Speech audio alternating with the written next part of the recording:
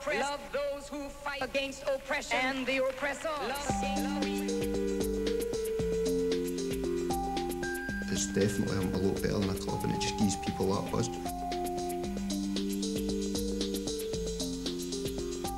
Techno should be free. Generally, there seems to be a problem in the media if young people are enjoying themselves. People that are into techno, I'm sure they'd rather go to a free party, you know, if they're so much into techno.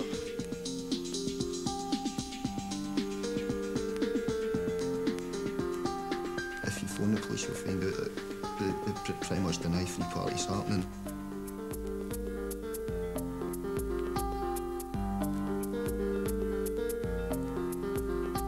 I keep thinking it's like criminal gangs operating these parties to feed the innocent children drugs.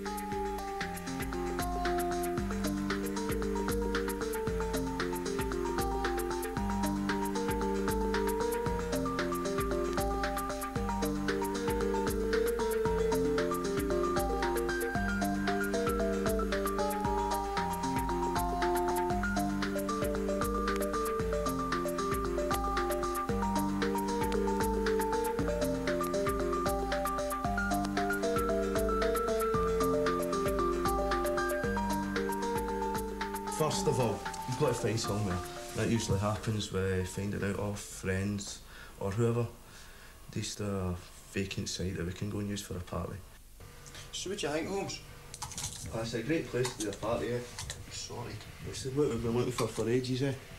So Somewhere just need to see this- underground. See what this guy says. Yeah, just phone him up, try and get permission off him. We just need to give Gary a phone. And know Matt. that. And who whose backdrops do you like to use? Eh, Backdrops again. We can get Got- some of Kirsty and yeah, we've got a couple there, haven't we? Right, sorry. Couple of cami next. Right, aye. Got on that phone Steve for it. Yeah, Steve will give him the bother. Just need to do that and get flyers again. And that's it. Get everybody on a case. Getting into free parties was like a natural progression for me. Because I've been going to clubs and that since I was, what, 16. I was always into like no techno music, but I was always into free festivals and stuff like that. And I used to go to free festivals down in England. For me, it started in England, like at the, the free festivals, the traveller festivals. And uh, there'd be like rave, uh, sort of techno tents, like various groups putting on, you know, sort of techno events. And just seeing them was what actually got me into it. It was the same kind of vibe as the free festivals where people would go and play for nothing and all the rest of it, but nobody had ever done it with techno. And like, it just seemed so energetic. It was it was bringing a whole new music form into a different environment, and people were really up for it. Because the clubs were starting to rip us off. They were starting to make the money off of us. Whereas the money we were making was going back into our scene.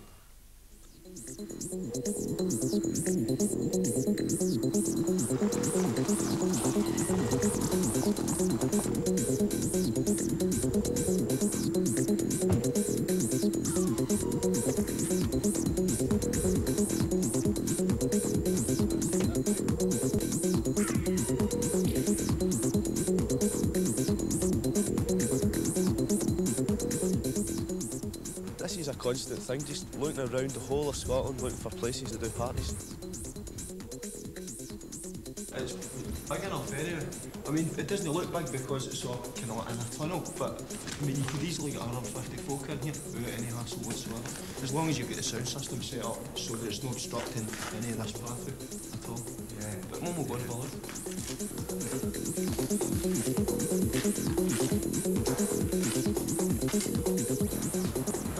get, getting people up here and getting permission. So when you go on a case, we need to find out that this guy owns this place and see if he's up for it. Yeah. And if he's not up for it, we'll need to try and make him up for it.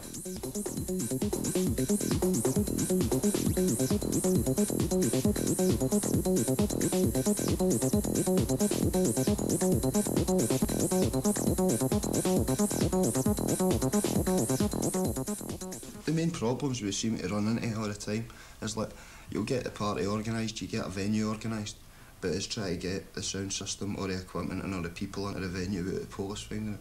There's this whole uh, belief by the government that it's fair game to go for people who are attending raves, not people who, who are attending opera or anything like that, because raves are seen to be somehow antisocial.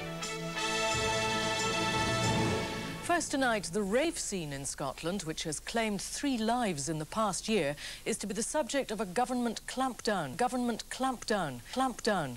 Strict legislation is to be introduced. Generally, there seems to be a problem in the media if young people are enjoying themselves. If you go to a rave and some people take drugs, immediately it's all blown out of proportion and raves should be banned. Uh, I feel the way the press deals with outdoor rave parties is disgusting.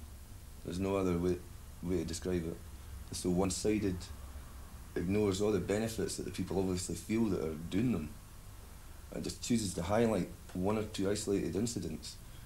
Criminal Justice and Public Order Act 1994 in section 63 states that it applies to a gathering on land in the open air or partly open to the air of 100 or more persons who may or may not be trespassers, where amplified music is played during the night and the music includes sounds wholly or predominantly characterised by the emission of a succession of repetitive beats. It's like anything new. It's like anything different. It, it, I mean, it, governments early years, not just Tory governments, but British governments have got this great thing about when something comes out, um, some new fad or some new idea comes out that instead of like trying to figure it out and try to suss it out and see what the people are all about that are involved in it, they just automatically say, no, that's not on. It'd be a lot better if the government could somehow learn to go with it instead of bringing out these laws. Over here, they're really chasing people for enjoying themselves and doing what they want to do. They can, they've no control over it, so they can't handle it. I think they find it quite hard to think that people do things just because they love it, or because they want to make other people feel good, or help them to feel good together. You know, I mean, I, I definitely know people who that's the motivation. It's, these people that are doing these free parties anyway, that's it's almost their life kind of in a way. You know, they're always trying to improve on their parties and you know always getting involved, meeting new people who've got something else to offer to the party.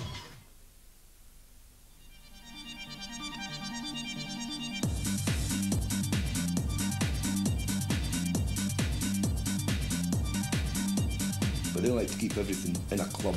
You pay your entrance, watched by bouncers. There's a pint stop. The lights go off at three o'clock. Right, everybody fuck off. The idea of a curfew also is bad because it shuts down all the social establishments at the one time, so everybody's out in the streets. So there's actually more chance of trouble. People have been to a free party, you need to try and take them out of the club environment, put them in a field or an environment with no bouncers or nothing. Once they're away through that, all their inhibitions leave them as well.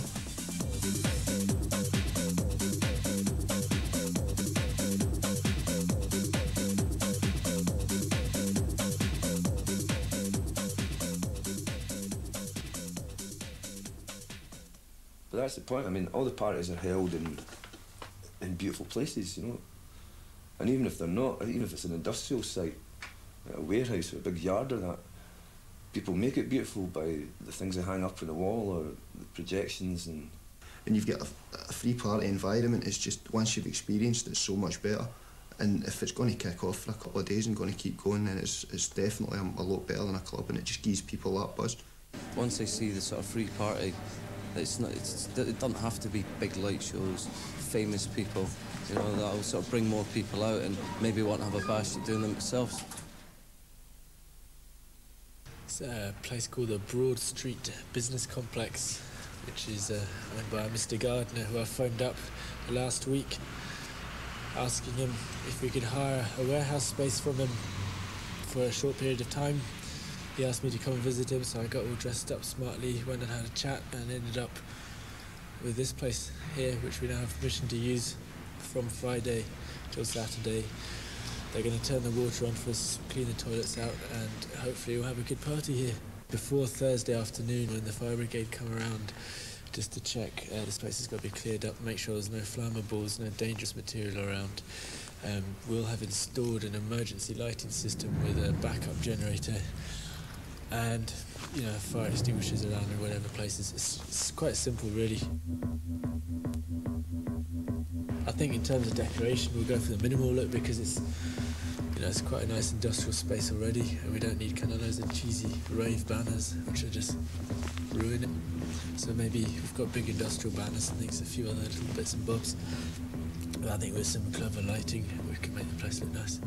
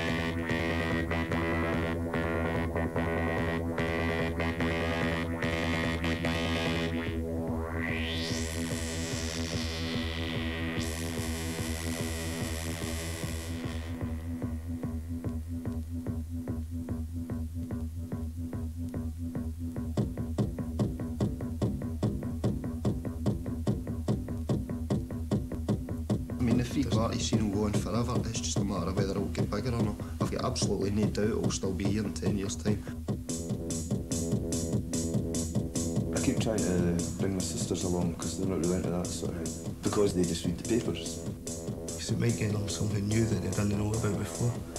And let them come and experience it, and it's totally up to them. It's just building the bridge for folk, basically, to make that transition from going to clubs to going to free parties. I feel blessed by it, to be quite honest. Because I've met so many good people. Yeah, there's so many people into there. I think it's just going to get better.